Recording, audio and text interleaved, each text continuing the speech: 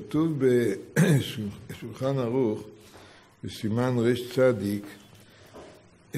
ירבה בפירות ומגדים ומיני ריח כדי להשלים מניין מאה ברכות.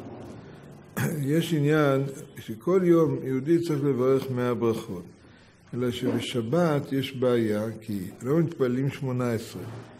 השמונה עשרה הם משלימים את מאה הברכות. אז איך משלימים שבכל זאת נגיע למאה ברכות? אז הוא אומר, ירבה בפירות ומגדים, ובצורה כזאת ישלים את הברכות. מסביר כאן המשנה ברורה, גם בליל שבת, קודש טוב, ישלים בה המאה ברכות. מניין מאה ברכות, כי בכל יום מברך אדם מאה ברכות. כן, ו... כן. ואתה, שנחסר לו כמה ברכות, שבתפילת שבת יש רק שבע ברכות, אמנם יש גם מוסף, זאת חסרות כמה ברכות, על כן נשתדל להשלימה בזה שהוא אוכל פירות ומגדים וכולי, מיני ריח.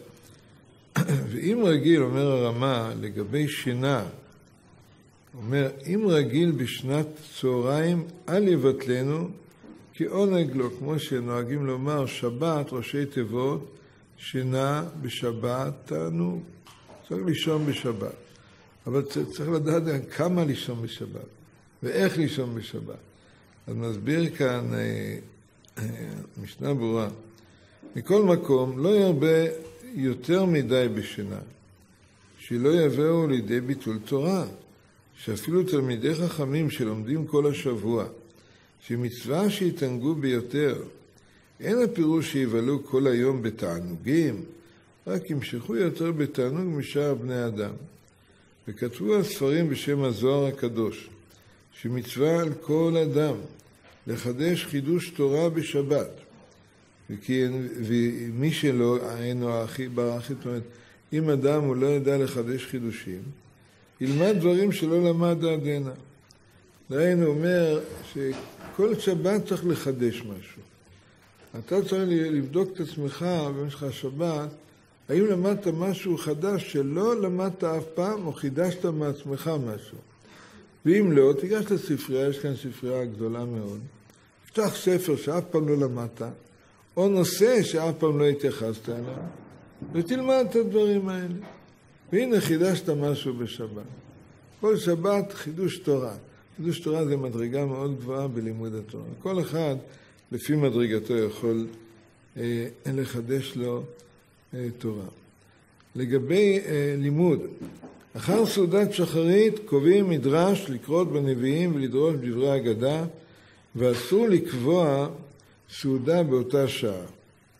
ופועלים, אומר הרמה, ובעלי בתים, שאינם עוסקים בתורה כל ימי השבוע, יעסקו יותר בתורה בשבת מתלמידי חכמים העוסקים בתורה כל ימי השבוע. והתלמידי חכמים ימשיכו יותר בעונג אכילה ושתייה קצת, לעשות איזה איזון בין כל השבוע ובין השבת. והרי הם מתענגים בלימודם כל ימי השבוע, ככה אומר הרמה. המשנה ברורה כאן לגבי מה לומדים בשבת וכמה לומדים בשבת, הוא קצת מעריך את הדיבור, ואני ברשותכם אקרא את הדברים.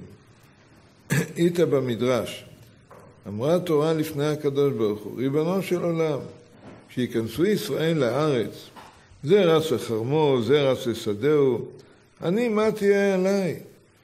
אמר לה, יש לי זוג שאני מזווג לך, ושבת שמו, שהם בטילים מלאכתם ויכולים לעסוק בך. אני מוכרח לומר, יש כאן במכון, סליחה, יש כאן במכון אה, קבוצה של בעלי ביום שבת, אחרי הצהריים, הם כאן אה, לומדים תורה.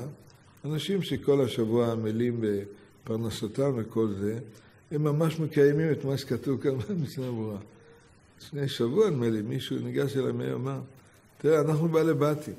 אנחנו רוצים להודות לכם למכון מאיר, ואתם נותנים לנו אפשרות כאן ללמוד תורה.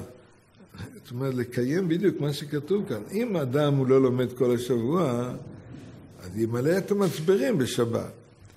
ואם אדם הוא לומד כל השבוע כמו תלמיד במכון מאיר, אז גם ימלא את המצברים בשבת.